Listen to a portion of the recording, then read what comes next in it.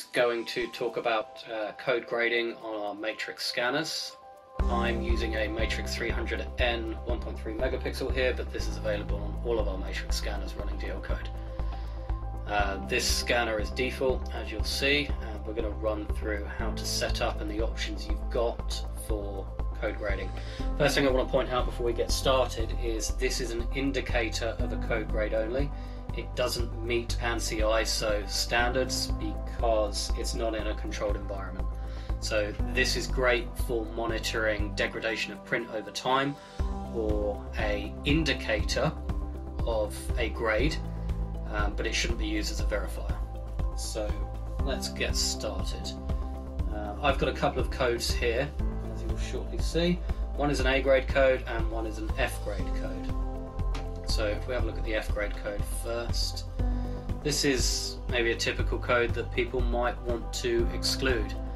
Um, this can happen on inkjet printers, for example, if a nozzle is blocked, you've got a bit of dust on the nozzle, some detritus. Um, if the print is running this way, uh, you could start seeing these lines in the print. Code will still read, it's perfectly readable because there's a lot of redundancy in the 2D code, but aesthetically it doesn't look great and maybe there's some readers further down your supply chain that could struggle with this. So you might want to root them out now before they get any further. And then we've got our A grade code down here for demonstration purposes. So first thing you want to do with a new scanner, um, let's do a quick auto setup, to set our lighting up. If you don't do this, it will skew the grade results for sure. Um, so when this is completed, the image should look a little bit better. So while we're on the subject of light, if this light changes, it will affect again your barcode grade. You would have to recalibrate the lighting. Um, it, it's very much affected by lighting, which is why we can't call this a verifier. It's not controlled lighting at all. Anyway, so uh, image looks good. Let's turn on the appropriate ISO standard. Uh, between these two, ordinarily, this would be for metal objects.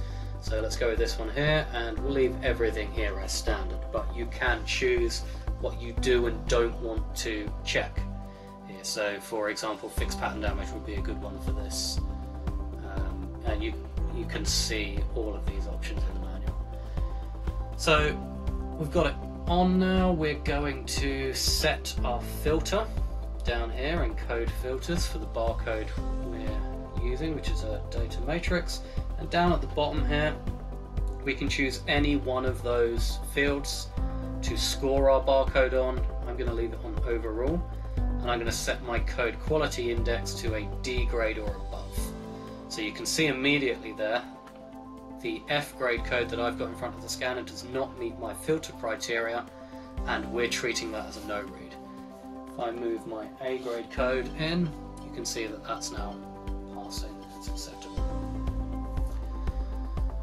Okay, so it's now working. Um, another useful thing to do would be to add the barcode grade to your data string. So that's this button here, code quality grading field. And again, you can choose any one of those options that you want to score and you can add them all if you want. If you want to know every detail about the barcode, you could add all of these fields. But for now, I'm just interested in the overall grade. So we'll leave that there. And if we now scan again and have a look at our A grade code, you can see I've added an A onto the end barcode string there. Let's put a couple of spaces in to make that a little bit clearer. So here's my code data and here's my grade here.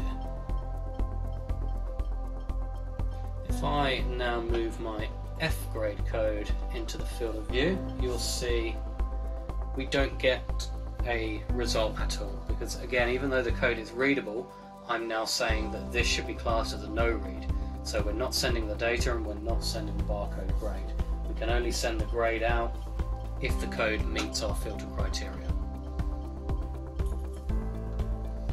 um, last thing to mention if we have a look at our grading again um, this can be output as a um, alpha character or you can have numerical if you switched it, this to decimal grade.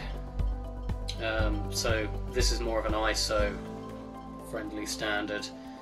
The ABCDF is more of an ANSI read, but either either works, so you can ch change that.